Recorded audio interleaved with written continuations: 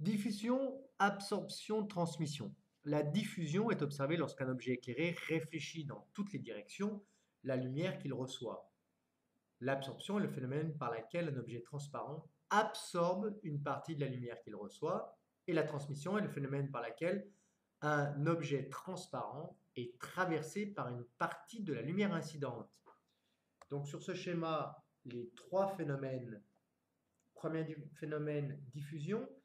La lumière blanche, est composée de toutes les radiations lumineuses, frappe le filtre bleu. Une partie de cette lumière bleue est diffusée dans toutes les directions. Une partie est absorbée, c'est-à-dire qu'est-ce qui est absorbé dans ce cas-là? Ben, Le violet, le vert, le jaune et le rouge. Et une partie de la lumière est transmise. La seule lumière transmise est la lumière de couleur bleue.